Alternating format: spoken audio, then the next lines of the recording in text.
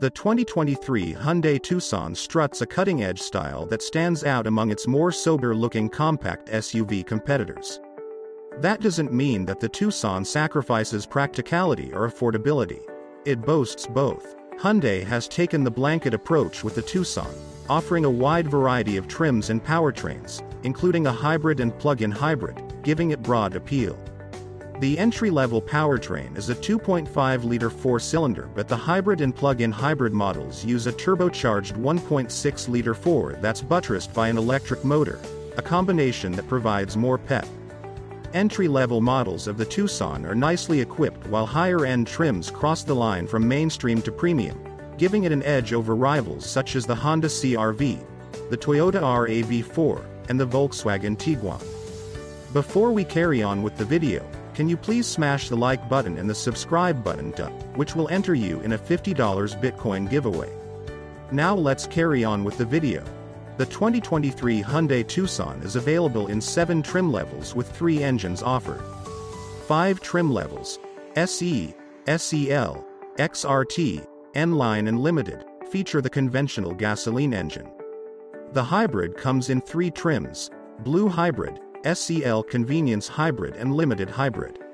While the standard gasoline engine can be had with front or all-wheel drive and uses an 8-speed automatic, the hybrid comes standard with all-wheel drive and a 6-speed automatic transmission. Following a complete redesign for the 2022 model year, the Tucson sees only a few packaging changes for 2023. The premium package has been eliminated from the SEL model and its contents have been distributed as standard features to other trim levels. For example, the panoramic sunroof is now standard on the N-Line trim and the larger 10.3-inch infotainment screen can be found on all XRT trims and up. Adaptive cruise control, pedestrian detection, and a speed limit assist feature are now standard on all Tucson trims. Serenity White Pearl replaces Quartz White on the Tucson's exterior color palette. After sampling the Tucson's various powertrains, we think the hybrid represents the sweet spot between performance, features, and price. We suggest the SEL Convenience Hybrid trim as it comes standard with heated front seats, blind spot monitoring, adaptive cruise control, a sunroof, and a 10.3-inch digital gauge display, among other niceties.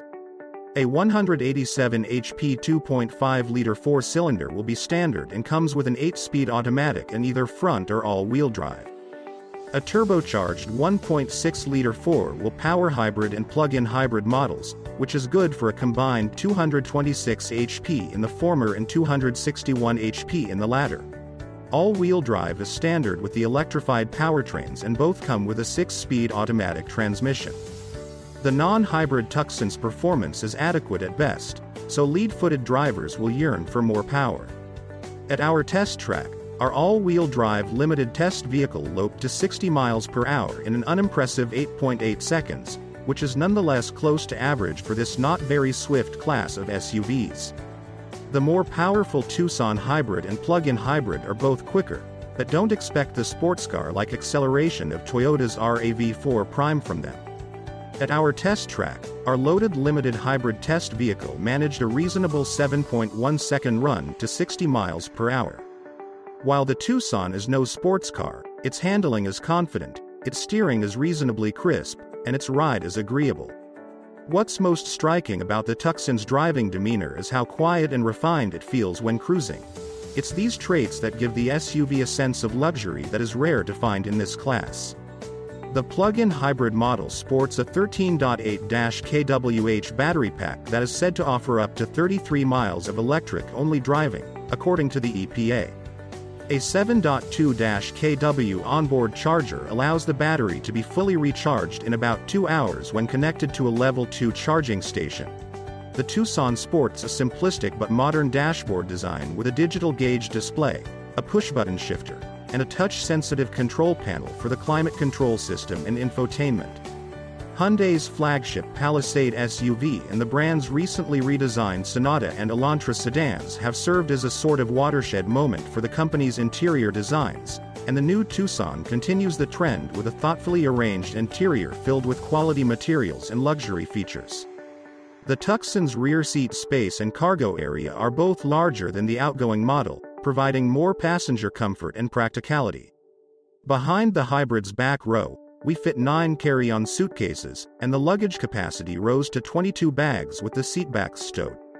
A standard 8.8-inch touchscreen is integrated into the dashboard with Apple CarPlay and Android Auto.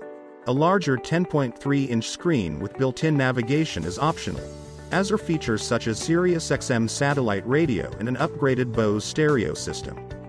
Other high-tech offerings include Hyundai's Digital Key smartphone app, which provides lock and unlock features as well as an option for remote start. You can toss plenty of stuff into the back of a Tucson. Its storage capacity of 38.7 cubic feet behind the rear seats is among the largest for small SUVs. Fold down the rear seats and you've got 74.8 cubic feet at your disposal.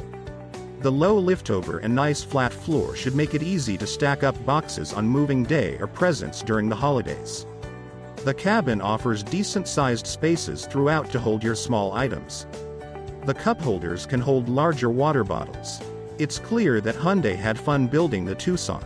The expressive exterior design and lots of interesting tech features such as hidden headlights, innovative touchscreen menus and its remote-controlled parking system make that clear.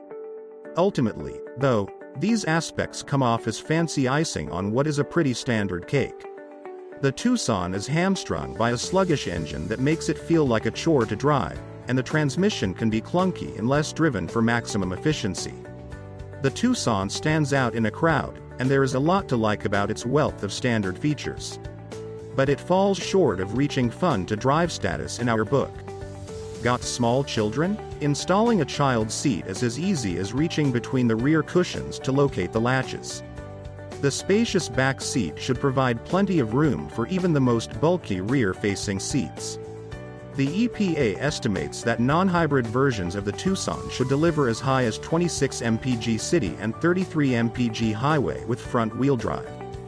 Fuel efficiency ratings for the hybrid are as high as 38 mpg city and 38 mpg highway, the plug-in hybrid model earned a rating of 80 mpg combined and delivered 33 miles of electric-only driving in the EPA's test. On our 75 mph highway fuel economy route, the hybrid model failed to deliver its EPA estimated 38 mpg, delivering just 28 mpg. In the compact SUV market, only one rival offers as much warranty coverage as the Tucson, and that's its corporate twin, the Kia Sportage. The Hyundai still holds an advantage over the Kia in this area, though, thanks to its generous complimentary scheduled maintenance program. The 2023 Hyundai Tucson is likely to fit the same footprint and dimensions as the 2022 Tucson currently for sale. The vehicle sits on a 108.5-inch wheelbase, is 182.3 inches long and 73.4 inches wide. These dimensions create 146.9 cubic feet of total interior volume and 108.2 cubic feet of total passenger room. Thanks so much for watching till the end. Please like, comment and subscribe and turn the notification bell on so you never miss a video. Until next time, see you later.